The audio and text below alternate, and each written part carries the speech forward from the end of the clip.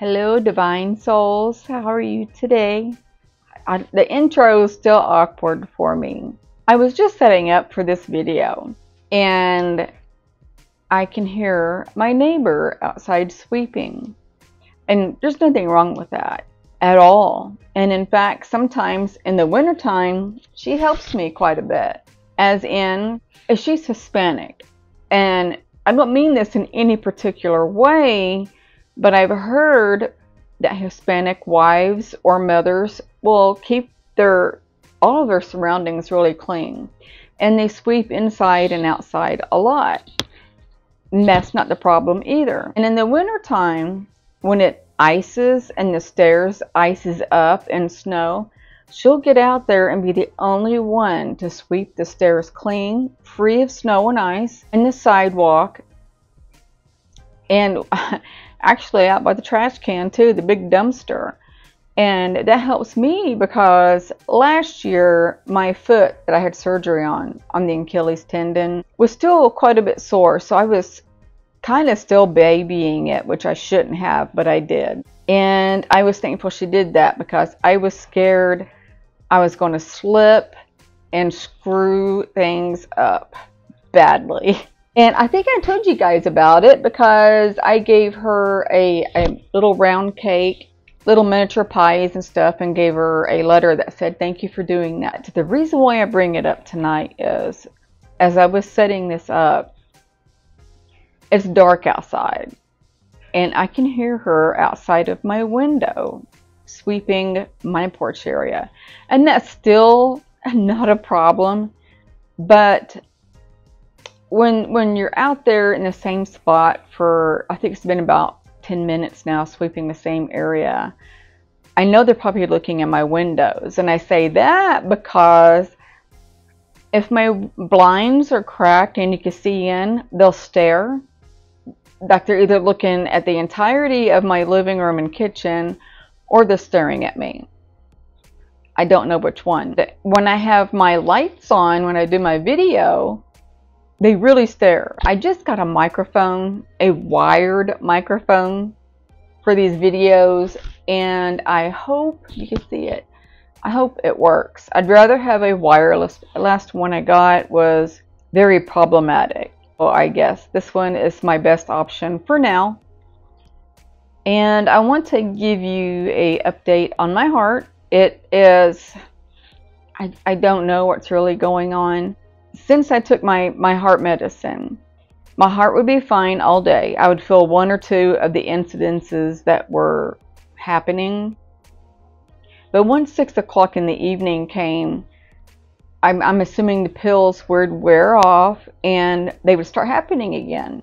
Tonight, not so much. Today, yes. Today, from morning until almost when I got off of work, they were going like 20 to 30 a day again. And I'm like, you know, that's, that's really weird. At night, they've been very active. But when I got off of work tonight, it's not active.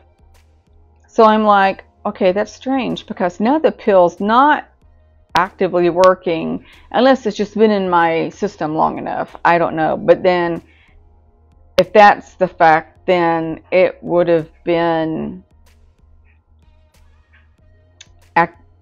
non-active during the day. I got distracted. I'm sorry. I hope I just made sense. So that's what's been going on lately.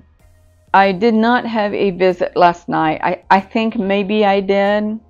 My winter coat has been scaring me. and I say that because it's hanging on one my bathroom door, which is in my bedroom. And I have a coat hook that hand, hangs over the top of the door because I just don't have enough closet space for my clothes and winter coats. So I have my main new winter coat hanging up there. And when I wake up or roll over at night and I see this big dark blob, it catches me off guard and me being half asleep, I'm like, I gasp. And this happened, I think, last night and the other night. The night before that, I think, I woke up with what felt like a being crawling or walking through my bed behind me and then I felt vibrations in my lower back area. And when I feel it in that area, I feel like they're either working on my spine because in that spot is where all of my back injuries are from the car accident I was in. My herniated disc, my bulged discs, and now with age, um, degenerative disc disease, in which that's inherited too. So, and that they stayed behind my back in that area for quite a while. I think I fell asleep and it was still going. Other than that, nothing new is going on. Tomorrow I have my heart um, scan. It's the Cardio Complete, and I think it's a Cardiogram Complete.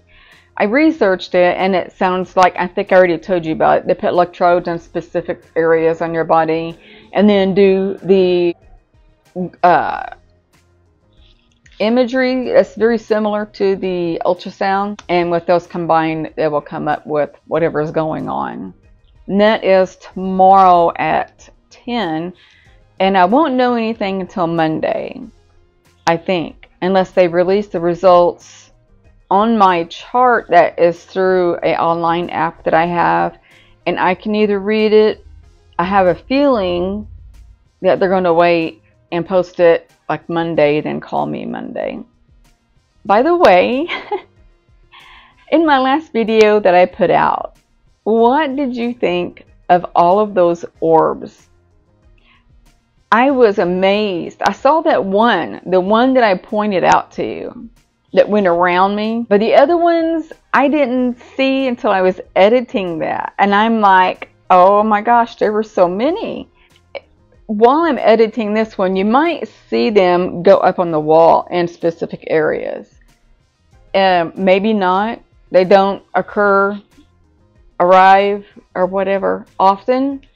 I just happen to look in the thing and I don't I look tired. I have been tired all week. I mean, all week. And I left work today only like 20 minutes early because I pushed myself to stay there all day. And then the closer it got for me to get off, I was not feeling well. I don't know if it's my heart or if it's just a fluke or I'm getting sick. I don't know what it is. I have been so tired. I'm not supposed to be drinking a lot of caffeine. Probably not at all because of what's going on with my heart. But I struggle to stay awake at work, and that's not me. And so I drink a lot of coffee. Well, not a lot, under three cups, and in very small cups. You know, like the kind you have at hospitals, those little styrofoam cups that you carry around and think that's just not enough. And then sometimes I'll drink two cups and a can of Monster.